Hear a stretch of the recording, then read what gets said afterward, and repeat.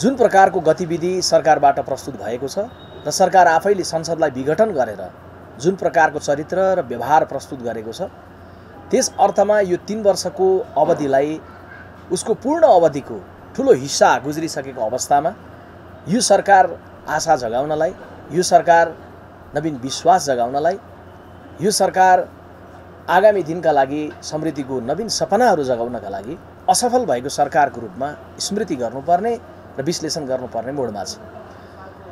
सामान्यतया हरेक सरकारका सामुन्य चुनौती हुन्छन् तर तुलनात्मक रूपले यो सरकारलाई बन्दै गर्दाको पृष्ठभूमिलाई हामीले सम्झ्यौँ भने तुलनात्मक रूपले सबैभन्दा अनुकूल राजनीतिक परिस्थितिको बेला बनेको थियो।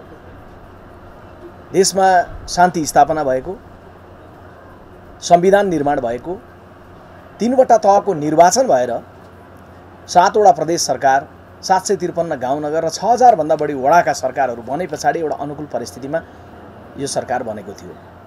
नेपाली काङ्ग्रेस पार्टीले जिम्मेवार प्रतिपक्षको रूपमा शालीन भूमिका र सहयोगी भूमिका रचनात्मक भूमिका निर्वाह गर्ने प्रतिबद्धता व्यक्त गरेको थियो। तर समयको इतिहासकै सबैभन्दा सुन्दर समयको सदुपयोग गर्नलाई इतिहासमै सबैभन्दा अयोग्यता चाहिँ वर्तमान प्रधानमन्त्रीजीबाट प्रस्तुत भयो। एकातर्फ उहाँको व्यक्तिगत अयोग्यताले कार्य गर्यो अर्कोतर्फ सैद्धान्तिक विरोधाभासले कार्य गर्यो उहाँले शपथ खानुभएको थियो संसदीय व्यवस्थालाई बलियो बनाउने तर उहाँको मनोविज्ञानमा संसदीय व्यवस्थाको पार्थिव शरीरमाथि सर्वहाराको अधिनायकवाद स्थापना गर्ने युवाकालीन शपथ थियो। त्यसैले त्यो जुन अन्तर्द्वन्द्व भयो त्यो अन्तर्द्वन्द्वको परिणाममा यो देशले इतिहासका सुन्दर तिनवटा वर्षहरूलाई खेर फालेको छ। तुलनात्मक रूपले केही कार्यहरू भयो होला। केही कार्यहरू निश्चय नै सामान्य रूपमा हुने नै गर्दछन्। तर जुन अपेक्षा थियो जुन गतिको अपेक्षा थियो जुन अनुकूलता थियो त्यो अनुकूलताको उपयोग गर्नबाट यो सरकार पुरै चुक्यो त्यसैले यो सरकारको तिन वर्ष गुज्रिँदै गर्दा नेपाल कम्युनिस्ट पार्टीको सरकारको तिन वर्षको तिन उपहार दम्ब द्वन्द्व र भ्रष्टाचार भनेर भन्नुपर्ने निष्कर्षमा हामी पुगेका छौँ। यो सरकारले यही दम्बलाई द्वन्द्वलाई र भ्रष्टाचारलाई केन्द्रमा राखेर कर्म गर्दै गर्दा यो तिन वर्षको सन्दर्भमा लामो फेयरिस्टमा त्यहाँ बाटो बन्यो यति त्यहाँ बिजुली निक्लियो यति भनेर भनिरहने खालको अवस्था सरकारले भन्ला।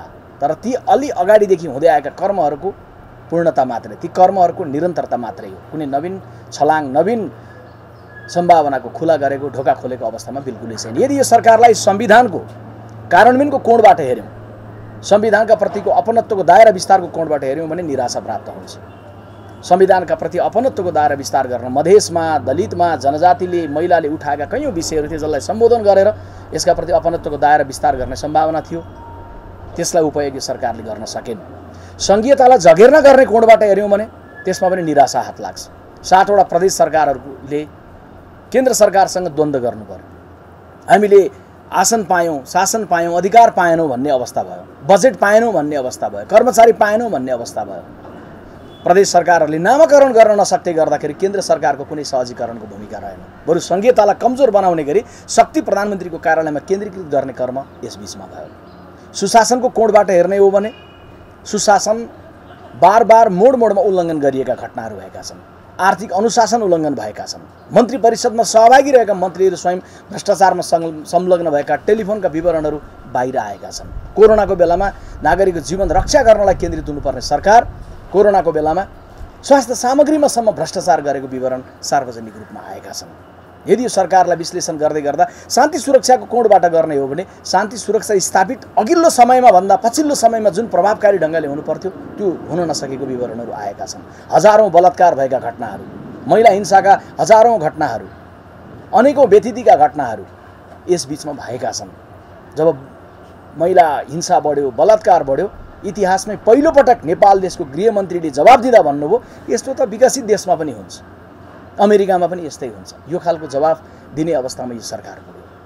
यो सरकारलाई यदि तपाईँ आर्थिक समृद्धिको कोणबाट हेर्नुभयो भने आर्थिक समृद्धिको दिशामा नयाँ खालका योजना नयाँ खालको परियोजनाहरू नयाँ खालको भिजनलाई प्रस्तावित गरेर कर्म गरिरहेको बिल्कुलै देखिएन। अघिल्लो पालामा भएका कति कामहरू अवरुद्ध हुनु पुग्यो। बुढी गण्डकी परियोजना हामी आफै बनाउने भनेर अघिल्लो सरकारले सुरुवात गर्दै थियो। तर त्यसलाई एकाएक एउटा विवादास्पद चिनिया कम्पनीको हातमा सुम्पिने तारतम्य मिलाइयो।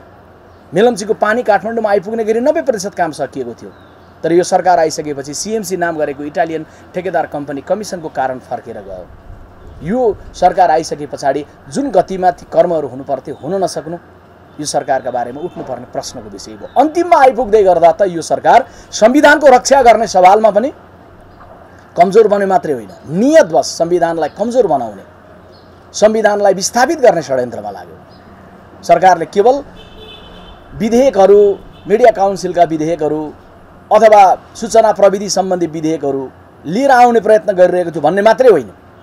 अहिले सामाजिक सञ्जाललाई व्यवस्थित गर्ने भन्ने नाममा अभिव्यक्ति स्वतन्त्रतालाई कुण्ठित गर्न खोजिरहेको छ भन्ने मात्रै होइन। यो सरकारले यो संविधानको धारामै नभएको संविधानमा कहीँ उल्लेखै नभएको संसद विघटनको कर्म गर्नतर्फ पनि लाग्यो। संसद विघटन नहोस् अस्थिरता नहोस् भनेर चारवटा प्रबन्ध यस बिचमा गरिएको थियो। दुई वर्षमा अविश्वासको प्रस्ताव ल्याउन नपाउने। एक दोस्रो अविश्वास प्रस्ताव ल्याइसके पछाडि विकल्पसहित ल्याउनु पर्ने। तेस्रो अविश्वास प्रस्ताव ल्याएर पास या फेल भइसकेपछि फेरि एक वर्ष ल्याउन नपाउने। र चौथो संसदले विकल्प दिन सक्दासम्म संसद विघटन नहुने। यी सबै कुरालाई खण्डित गर्ने विखण्डित गर्ने कुरामा वर्तमान प्रधानमन्त्री लाग्नुभयो। त्यस कारणले यो तिन वर्ष बिर्सिनुपर्ने एउटा अध्यायको रूपमा नेपालको इतिहासमा भविष्यमा स्मृति गरिनेछ। दुःखद अध्यायको रूपमा स्मृति गरिनेछ र यो सरकार तिन वर्षको समयमा सम्पूर्ण रूपले असफल भएर आफ्नो दम्बको कारण आन्तरिक द्वन्द्वको कारण र भ्रष्टाचारलाई उपहार दिएर यो सरकारले तिन वर्ष गुजारेको छ। म फेरि पनि दोहोऱ्याउन चाहन्छु नेपाल कम्युनिस्ट पार्टीको कमरेड केपी ओलीले नेतृत्व गर्नुभएको सरकारको उपहार दम्ब द्वन्द्व र भ्रष्टाचार भन्ने अवस्था अहिले देशमा बनेको छ।